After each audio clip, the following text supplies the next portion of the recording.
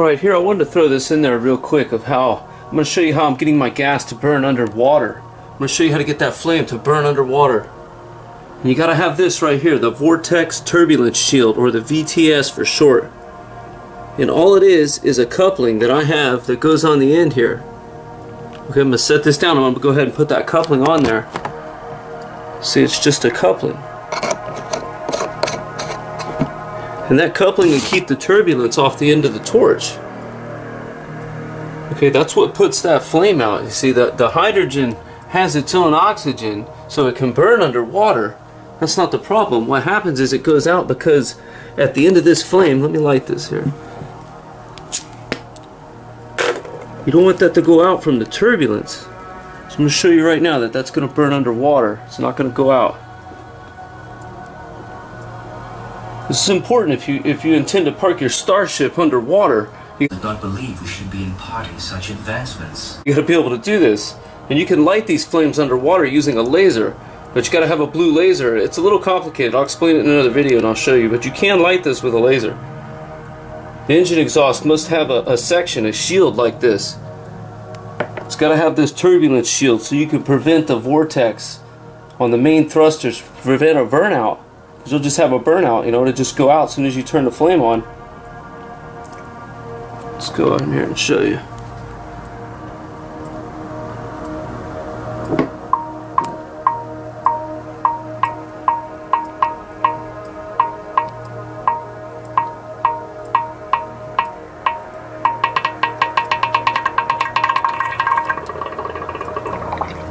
See how it went out when I tilted it?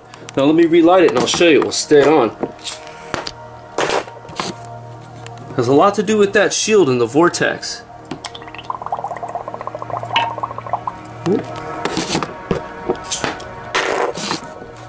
Watch. See how it stays lit? So that's why you have the shield on there. It stops the vortex from putting out the flame. I just wanted to throw that in there so you guys would see that. See how that worked.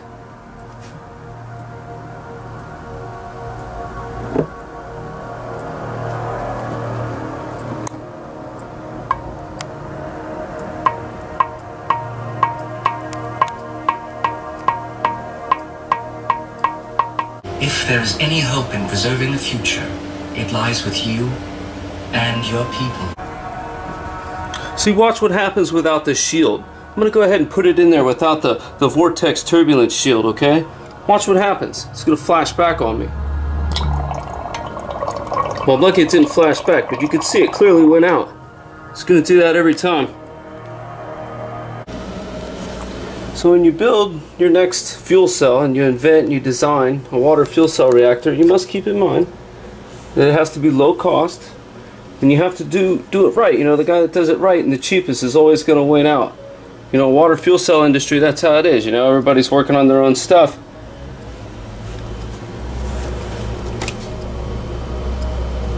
Turn some power on here. Hang on, turn the power on. There it comes.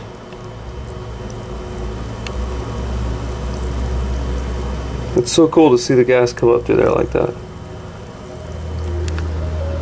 So I'm going to go ahead and do an equipment breakdown. I'm going to go ahead and break down this bubbler next. I'm going to break down the whole, you know, I've broke down the reactor here. Just some of the stuff I wanted to show you. You know, more often than not, you know, ideas are stolen from the inventors, as in the case of Stanley Meyers. Think of that. You know, you got to remember, uh, you know, this is meterless power. It's so cheap it'd be impossible for me to sell it to you. That's what's so funny. Now I know you've probably heard that somewhere else before, but I mean it. You know, I've thought about selling these things on eBay, but I was like, you know, so, it's so cheap to build and so simple and so easy. You guys are going to be able to copy it and build thousands of them. There, there'll probably be millions of these things built. So I was like, you know, I'll just film it and let them have it. Let's do a whole breakdown of some of this stuff, you know. This is what Stanwood wanted.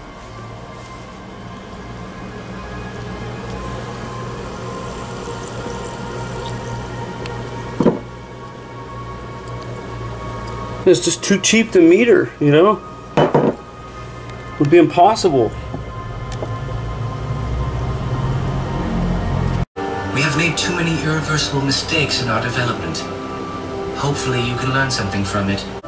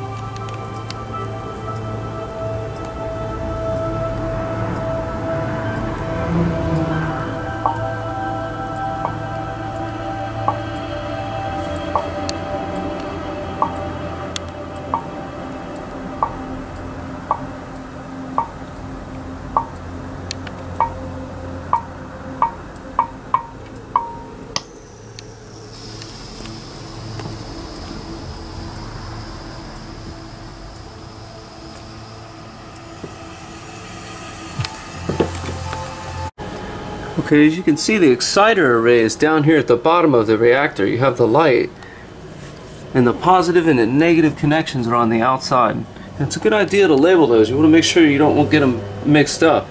You want to start with the same connections all the time. You can see my one system valve here on the outside. Always use distilled water. See, I've taken my electrolyte out right here and I'm saving it. I'm going to filter it a couple times through a shirt. This is what I do. I hold on to my electrolyte. You don't want to use up your sodium carbonate. So always hold on to your water. Don't throw it out. Use the same water and then just filter it and continue on as you do. So here's my riser. I've taken the whole thing down. It's easy to take this apart. You want to protect the bottom half here. You don't want to ever crack this or anything because the bottom half is the heart and the core of the entire reactor. These top parts are easy to replace. I can just take them off another one and snap them together real quick. They're like Legos. There's nothing to it. I want to turn this on here. Let me turn this on. I'm not pulling any power right now. See, I have distilled water in here. Nothing but distilled water in here right now. But I'm going to dump in some of my electrolyte solution. I've got two tablespoons in here. I just want to show you something. Hang on.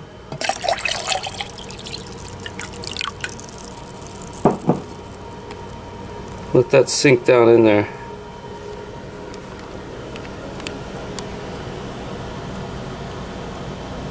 So immediately get some action. And the electrodes come on. And see now I'm pulling power. So distilled water won't pull will not conduct electricity you know? It's not going to conduct low low voltage electricity. You need very high voltage electricity. Water is a liquid dielect that's why we add the electrolyte to lower the resistance.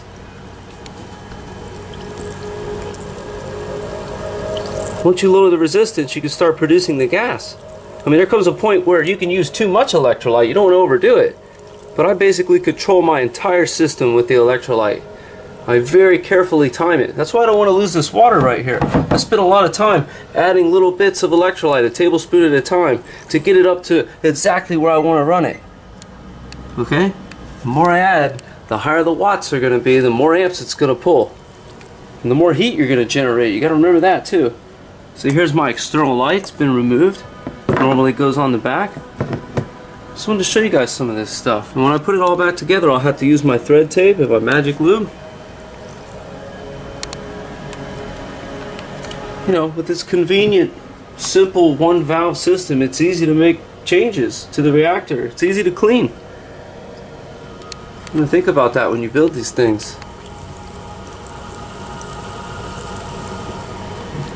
So the bottom half is very important.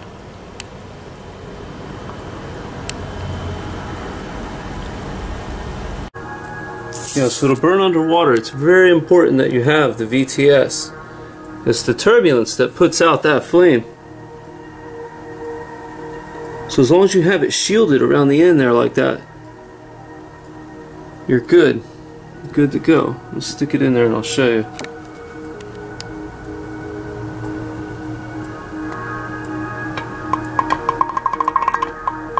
See?